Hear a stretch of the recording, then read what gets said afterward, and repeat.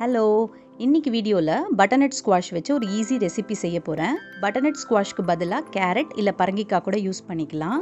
இப்போ ஃபஸ்ட்டு இது தோல் சீவிட்டு உள்ளேருந்து விதையெல்லாம் எடுத்துட்டு சின்ன சின்ன பீஸாக வந்து கட் பண்ணிக்கணும்.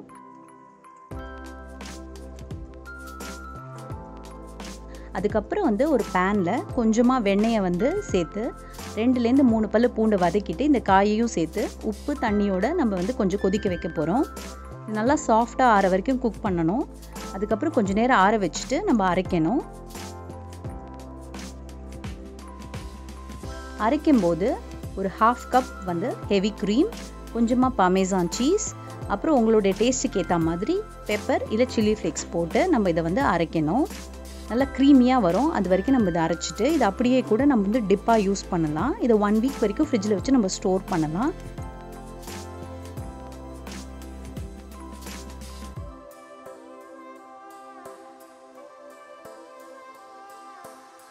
இல்லை உங்களுக்கு சூப் கன்சிஸ்டன்சி வேணும்னா இன்னும் கொஞ்சம் தண்ணி சேர்த்து கூட நம்ம கொதிக்க வைக்கலாம். இன்றைக்கி நம்ம வந்து அல்ஃப்ரெடோ சாஸ் பண்ண போகிறோம் ஸோ அதுக்கு வந்து நான் இதில் வந்து இன்னும் கொஞ்சமாக வந்து பெப்பர் அண்ட் பேசில் சீசனிங்க்கு ஆட் பண்ணிவிட்டு நான் பாஸ்தா ஏற்கனவே குக் பண்ணி ரெடியாக வச்சுருக்கேன். அதையும் சேர்த்து மிக்ஸ் பண்ணிட்டேன்.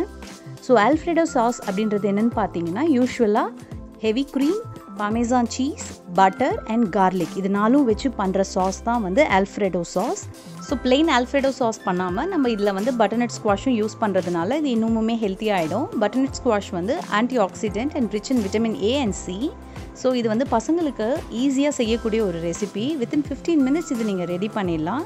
கண்டிப்பாக ட்ரை பண்ணி பாருங்கள் உங்களுக்கு இந்த வீடியோ பிடிச்சிருந்ததுன்னா மறக்காமல் லைக் பண்ணுங்கள் அண்ட் ஃப்ரெண்ட்ஸோட ஷேர் பண்ணுங்கள் தேங்க்யூ